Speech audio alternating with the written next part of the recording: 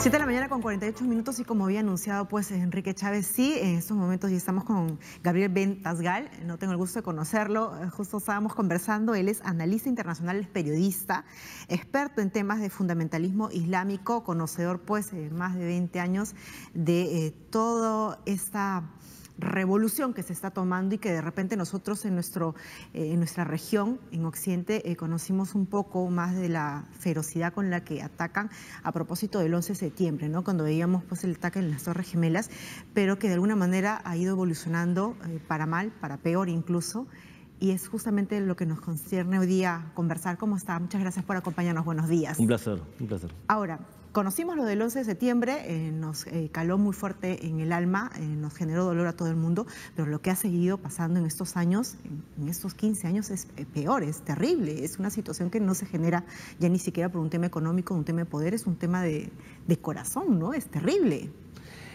El mundo fue entendiendo que el terrorismo es de corte islámico, que es de corte radical islámico.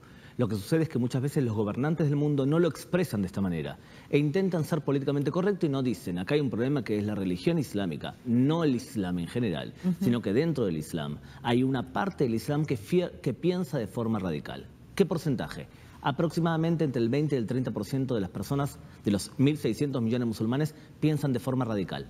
¿Cuántos de ellos están dispuestos a ser atentados terroristas?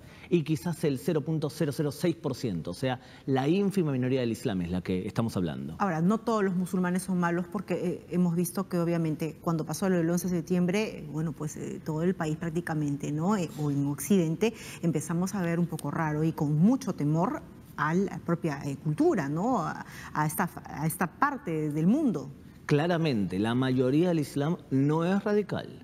Lo que sucede es que hay países que son radicales, que fomentan su radicalismo y que Occidente tiene excelentes relaciones con ellos. Te doy un ejemplo. Mi equipo de fútbol, el Barça, ensucia su camiseta de fútbol con un país radical como es Qatar y muchos países de América Latina tuvieron la visita ahora de un país radical que exporta radicalismo como es Irán. Ahora, eso es legitimar de alguna manera esta andanada de violencia, ¿no? Y por supuesto, imagínate, por ejemplo, cuando hay una, un conflicto armado en la franja de Gaza y tú tienes radicales islámicos como es el Hamas, combatiendo con un país democrático como es Israel, y estudiantes peruanos salen a favor de Hamas, entonces eso es legitimar el radicalismo islámico, también.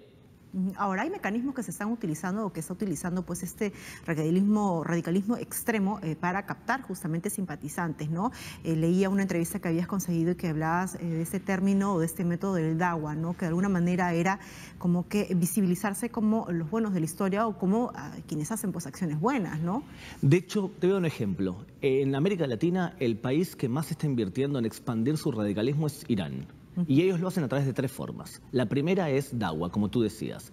Y es así, intentar utilizar la debilidad del Estado para levantar centros sociales o mezquitas en lugares en donde el Estado no es fuerte. Entonces ahí empiezan a repartir comida, educación, y así tú ves a personas de aspecto quizás indígena muchas veces que se visten como musulmanes. Eso se llama dawa o comprar corazones. Ahora, acción social. Y eso es un peligro latente pues en zonas eh, donde país donde hay bolsones de pobreza aún y no hay presencia del Estado. Segundo, según qué tipo de Islam enseñas. Si el Islam que vas a enseñar es un Islam moderado, que es la mayoría del Islam, no tendría que haber problema. Si lo que tú vas a enseñar dentro de una mezquita o de un centro social es que los cristianos son malos, que las reglas del Estado no importan, sino lo que importa es las reglas del Islam, y que tu objetivo es independizarte y de alguna manera ser eh, quedar como parte fuera del Estado, entonces eso ya, sí es malo.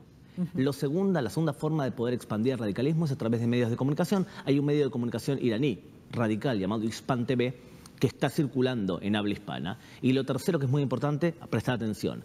Los iraníes, el radicalismo islámico lo que hace es pagar, encontrar a un político suficientemente corrupto y con valores morales poco claros para pagarle a él y pagarle la carrera o ayudarle en la carrera política. Es decir, financiar carrera política. Por ejemplo, Luis Delía en Argentina recibe dinero de Irán, pero ¿sabes qué? Podemos en España. Pablo Iglesias, durante años ha recibido dinero de Irán para un canal de televisión llamado Hispan TV y un programa de televisión, Fuerte Apache, que no lo ve nadie. Pero él ha recibido millones de euros para hacer un programa de televisión. Eso es fomentar el radicalismo a través de encontrar un político que sea mi portavoz en el país. Y ese peligro es latente en Latinoamérica. Ya se puede hablar pues, de focos que han sido identificados de ese radicalismo extremo que se está de alguna manera diseminando en esta región. Comparado con Europa y comparado con el Medio Oriente, no, no se puede comparar. Lo que sucede es varios fenómenos. El primer fenómeno, estamos hablando de países muy penetrables en donde es muy difícil controlar fronteras. Segundo, estamos hablando también de países en donde los malos se unen. El narcotraficante y el guerrillero de la región con el radicalista islámico se unen. Pero digamos que acá se unen por un tema económico, de poder, eh, de lucrar, ¿no? En cambio, lo otro es mucho más fuerte. La unión es, táctica, sin duda, sin duda la unión es táctica, pero igual es un problema. Segundo, ya han habido atentados terroristas en Sudamérica. Eh, eh, Hezbollah ejecutó dos atentados terroristas muy serios en Argentina, en la AMIA y en la Embajada de Israel. O sea que ya lo tuvimos. Y tercer problema, hay que tener muy presente si hay radicales islámicos que han salido de nuestro continente y se han ido a luchar a Siria y luego regresan. En Argentina y en Chile ya se saben de personas que se enrolaron para ISIS y que volvieron a sus países. Por lo tanto, es un tema serio individuos que se autoadoctrinan a través de los medios de comunicación, las redes sociales, y luego perfectamente pueden tomar la iniciativa y hacer un atentado en cualquier lugar del continente. Y eso es problemático tener en cuenta porque hoy todavía estamos en el embrión. Claro, ahora, y el, problema eh, puede partir acabando con esas huestes violentistas porque, digamos, hablamos ahora de una amenaza latente para Europa y, claro, el, país entero, el mundo entero, como el Estado Islámico. Ahora, el Estado Islámico es como tal, es una organización, es un Estado, desde el punto de vista eh, terrenal, funciona como un Estado. Pero lo más importante del Estado Islámico es que ellos son una idea.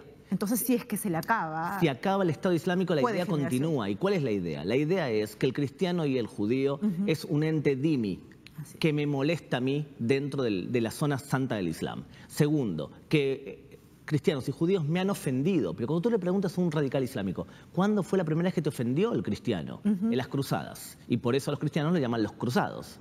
Entonces hay que vengarse sobre ellos. Y encima vinieron a matarme a mí al Medio Oriente. Yo tengo que vengarme a través de personas que ideologicé y que ellos están dispuestos a, solos, levantar su camión, decir que es un helado, un camión de helados y atropellar a 100 personas en Niza. es decir, como no es una organización, sino es una idea, una idea terrorista, eh, puede acabarse el Estado Islámico como tal, pero va a surgir otra. Es una amenaza entonces que va a simplemente ir cambiando de nombre. El nombre no importa aquí, lo importante es la idea y la idea ha nacido.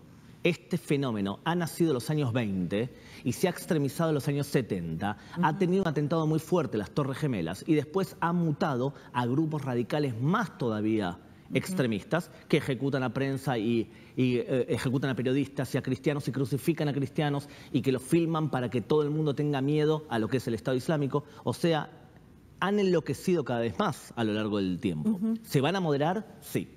Yo creo que sí. Ahora, se está visibilizando cada vez más ¿no? a través de las redes sociales y los medios de comunicación en las formas tan horrorosas, ¿no? macabras en las cuales ellos tienen para ajusticiar Ahora, y la solución eh, básicamente responde a un tema de incrementar, pues de repente por ahí el presupuesto de defensa para tener de alguna manera chequeada estas 15 mil personas, por ejemplo, veíamos ayer ¿no? al primer ministro Valls eh, de Francia decir, bueno, hay 15 mil personas en las cuales estamos vigilando, ¿no? obviamente vamos a tener que incrementar el presupuesto de defensa, pero por ahí no estamos trabajando, porque de alguna manera vamos a eh, frenar toda esta situación de atentados terroristas en Francia.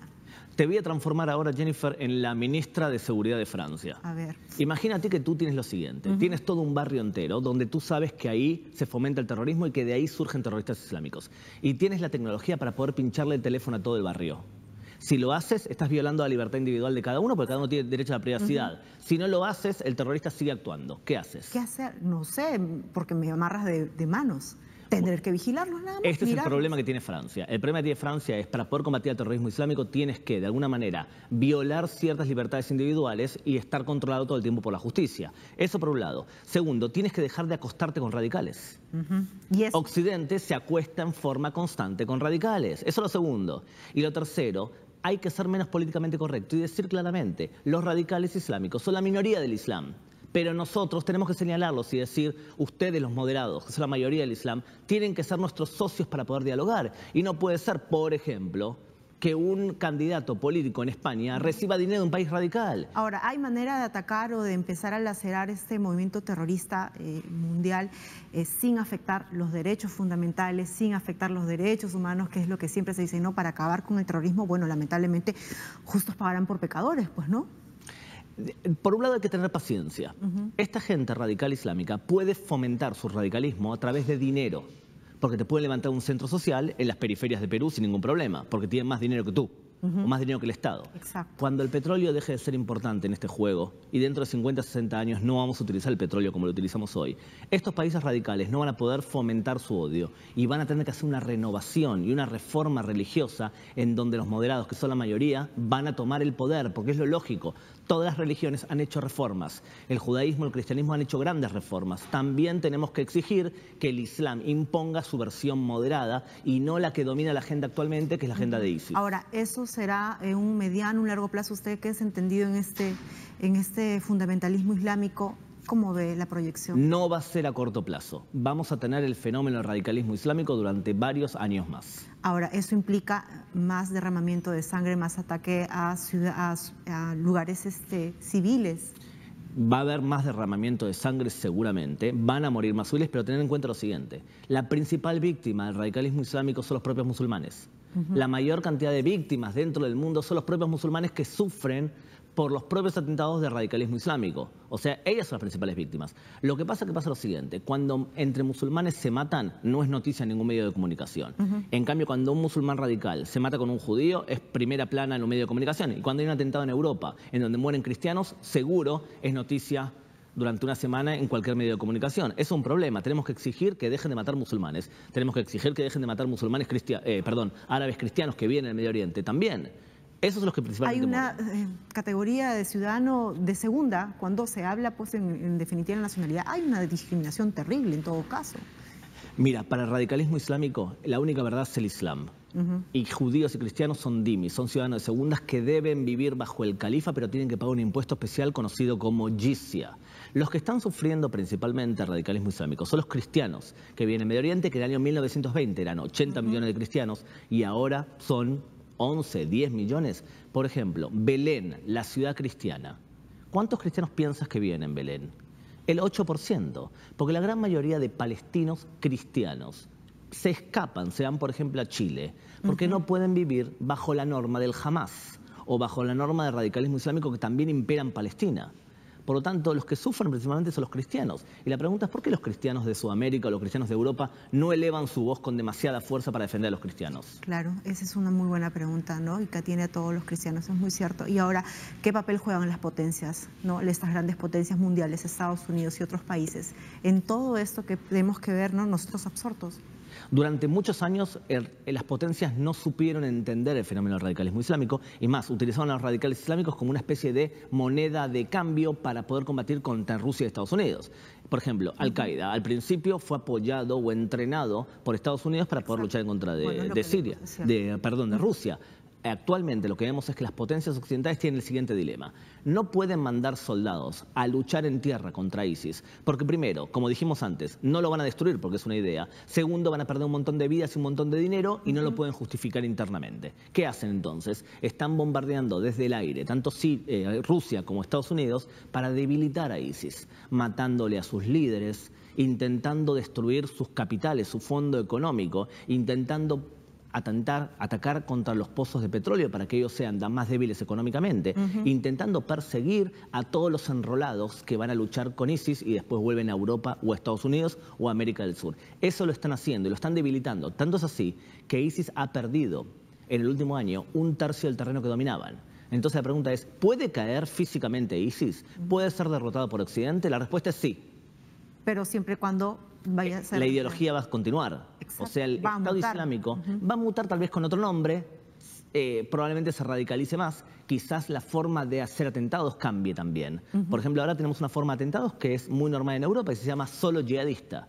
¿Cómo es? Tú, Jennifer, estás en tu computadora, te autoeducas, decides dónde atacar, por ejemplo, dentro de Perú, entregas seis o siete objetivos que pueden hacer daño adentro del Perú, por ejemplo. ¿Cuál lobo solitario? ¿Esta es la Sí, pero se llama solo yihadista. Y lo que haces es haces el atentado y en todo momento te filmas y hablas a favor de ISIS, que fue un atentado en nombre de ISIS. De verdad no lo organizó ISIS, lo organizaste tú solita. Exacto. Ese tipo de atentados, ¿cómo lo puede prevenir o evitar o desarticular un centro de inteligencia? Imposible, ¿no? Es muy Porque difícil. se está diseminando cual virus este, de Internet. Es muy difícil, tal cual. Tenés que dominar un montón de cosas, tenés que adaptar la ley para poder luchar contra ese tipo de terrorista, tenés que ser menos políticamente correcto y tenés que luchar contra realmente lo que vale la pena luchar. Luchar contra una mujer que pone burka en la playa, el burkini, Exacto. es una tontería.